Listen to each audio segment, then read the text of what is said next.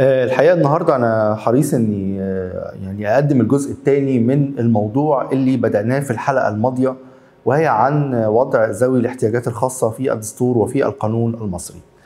آه، الحقيقة من من التعليقات اللي جات لنا على السوشيال ميديا وعلى الحلقة اللي فاتت إن في ناس كتير جدا بتقول أنا لحد دلوقتي ما حصلتش على وظيفة ولحد دلوقتي أنا ما حصلتش على يعني إن أنا أتوظف أو إن أنا أشتغل في مكان معين عايز أقول يا جماعة حاجة مهمة جدا إن القوانين بتديك الحق في إن يكون ليك وظيفة وبتديك الحق في إنك أنت تتعين سواء كان في وظيفة تبع القطاع العام أو القطاع الخاص أو قطاع الأعمال يعني موظف حكومي أو غير حكومي لكن في الأول وفي الآخر إحنا مقيدين بضوابط الوظائف وإذا كان في فعلا في وظائف ولا ما فيش وإذا كنا إحنا محتاجينها ولا مش محتاجينها.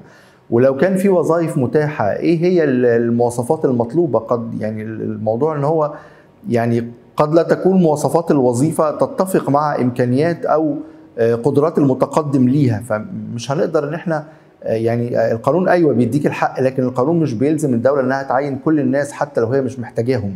طبعا ده ضد سياسات الدولة دلوقتي إن يكون في تخمة في النظام الإداري أو في النظام التاميني والتأمينات والمعاشات وما إلى ذلك.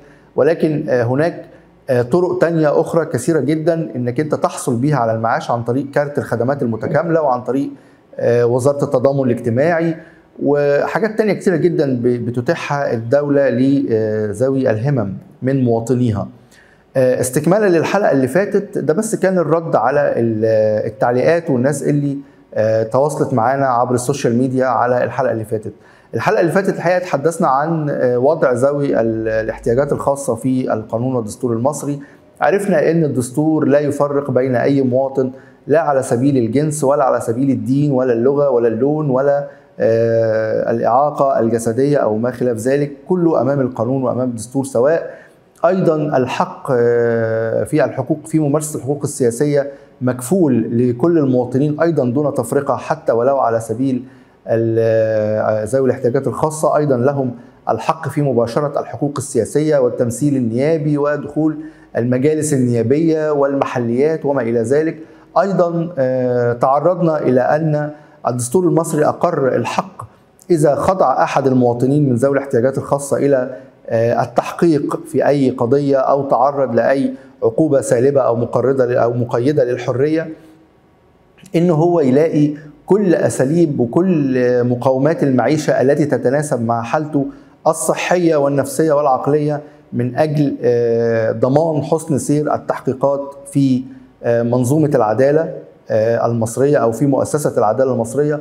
وأيضا إذا تطرقنا آه، توقيع عقوبة آه، جسدية أو عقوبة على ال- المتهم وكان من ذوي الاحتياجات الخاصة. أيضا القانون بيكفل له توافر كل ال- الفرص وسبل التعامل والراحة وما إلى ذلك علشان يقدر أن هو يعني القانون يأخذ مجراه والعدالة تتحقق في مثل هذه المواقف. اللي عايزين نكمله النهاردة في الحلقة بتاعت النهاردة إن آه، القانون أيضا يعطي الفرصة آه، ويلزم الجهات التي تتعامل مع الجمهور بشكل كبير جدا أن يكون دائما ذوي الهمم له آه، لهم مكان وله دور وليه ال- الأماكن اللي بتسهل عليه التعامل والحصول على الخدمة أو تأدية الخدمة. فلو فرضنا إن في أي شباك من شبابيك التعامل مع الجمهور دايما لازم تلاقي شباك خاص بذوي الهمم. لو في أي مكان في المواصلات العامة بتلاقي دايما مكان خاص بذوي الهمم. وزارة الشباب والرياضة ملزمة في النوادي وفي مراكز الشباب إنها دايما توفر الرياضات المناسبة والمتناسبة مع ذوي الهمم باختلاف آه، أوضاعهم وباختلاف حالتهم الجسدية أو النفسية أو العقلية أو ما إلى ذلك.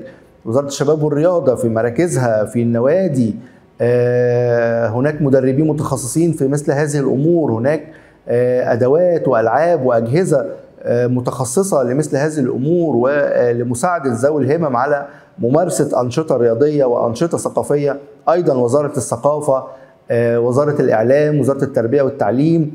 آه، بروتوكولات كثيرة جدا تم توقيعها ما بين وزارة التضامن وما بين وزارة الاتصالات من أجل توفير التطبيقات والبرامج وأجهزة الموبايل والمحمول التي آه، تسهل التعامل والاتصال والتواصل ما بين ذوي الهمم وما بين أقرانهم في المجتمع.